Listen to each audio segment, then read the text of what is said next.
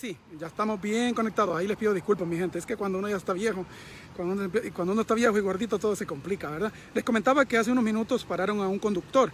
Eh, un conductor que no respetó la señal del autobús escolar y también pues obviamente aquí estaban la policía estaba revisando lo que es los límites de velocidad y esta persona pues se pasó, se peló, ¿verdad? Se le pasó al autobús y, los, y además de eso los límites de velocidad mucha gente los, los irrespeta. Y aquí pues tenemos a un amigo oficial de policía de este condado de Winnet que es muy amigable pero al mismo tiempo también cuando tiene que tomar la ley no presta ganas para dar un castigo. Y en este caso en particular el conductor pues eh, violó la ley, el oficial lo vio porque él estaba a media calle y lo vio mientras medía velocidad. Ahora mismo está revisando la información del conductor, no puedo mostrar esos datos porque son privados, pero aquí está el oficial eh, en su patrulla ya viendo si le va a dar una multa al conductor y sí, definitivamente, definitivamente le va a dar una multa al conductor. Pueden ver, está escribiendo su multa. Entonces es un recordatorio de que es un recordatorio de que la ley hay que respetarla. Si no respetamos la ley nos vamos a ver en graves problemas. Y después, ¿verdad? Muchas veces como latinos decimos, ah, el policía es racista, me paró porque es racista. ¿Sabes qué? Cuando el policía está en la calle midiendo velocidad, él no sabe si la persona que viene ahí es blanco, negro, asiático, latino, no sabe, no hay forma de que lo sepa, porque él está de frente a los autos y no tiene chance de saber qué tipo, entonces no puede decir que lo paró por ser hispano. Pero muchas veces nosotros usamos esos argumentos como para escudarnos y para decir, hice las cosas mal, pero, pero voy a decir que me paró por ser hispano. Es, es bueno que usemos esto. Ustedes saben que como periodista mi, mi, trabajo es informar, pero también es educar. Y en este caso en particular, ah, paró una persona asiática. Eh, una persona asiático y le va a dar multa. Ahí está, pueden ver. Le va a dar su multa. Si, si, hubiera sido latino, te aseguro que también le da multa. Si hubiera sido blanco, igual realmente eh, a veces es un recordatorio de que la ley aquí eh, es estricta y pareja, ¿no? Pero lastimosamente yo sé que hay molestia por lo del accidente hace un par de días, un accidente donde un niño fue atropellado y la gente está molesta porque a la, a la muchacha, a la señora afroamericana, solo le dieron una multa, no la arrestaron. Entonces la gente está molesta, pero eh, así funciona la ley. Ella, ella tenía su licencia, ella tenía seguro válido, ella se quedó en el lugar del accidente y aunque no nos guste, pues no había forma de arrestarla, ¿verdad? Si, por ejemplo, Dios no lo permitió, gracias a Dios, pero por ejemplo, si el niño hubiera fallecido, entonces tenían que haberla arrestado por homicidio vehicular, es, allá es diferente. Pero en este caso no pasó así, gracias a Dios el niño está bien.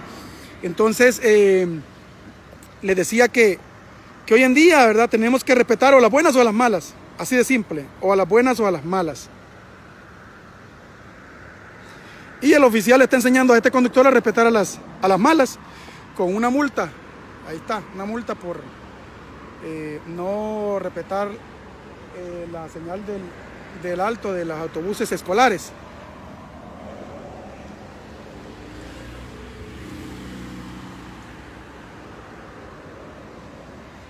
y esto es muy posible que le den por lo menos seis, que le resten por lo menos seis puntos en la licencia.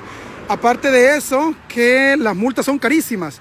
Si no te pasas, si te pasas un autobús escolar, te pueden dar multas en algunas ciudades, son 600, 800, 900 dólares.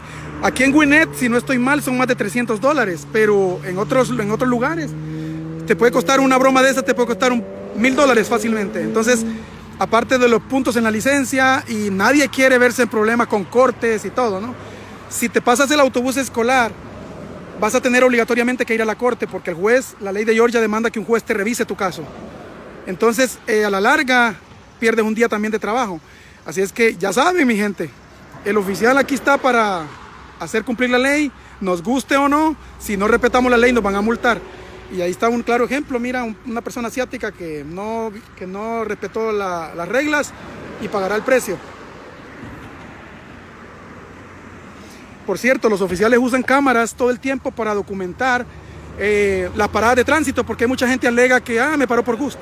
Entonces justamente para eso está este tipo de, de, situaciones.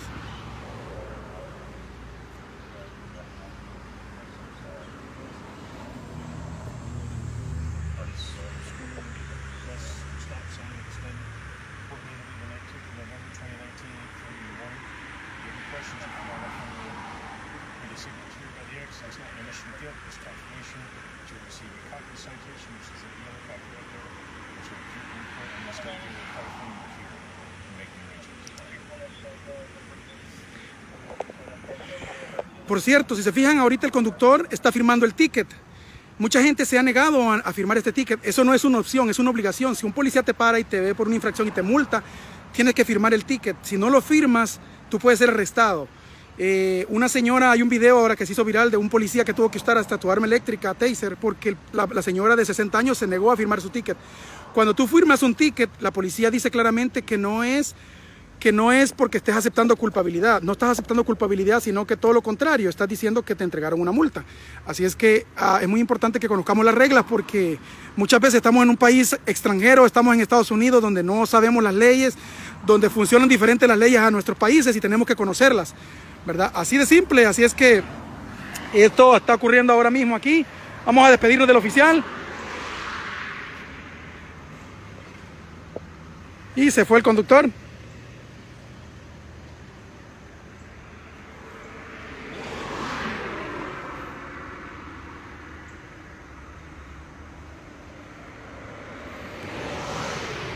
está haciendo sus, su paquete final.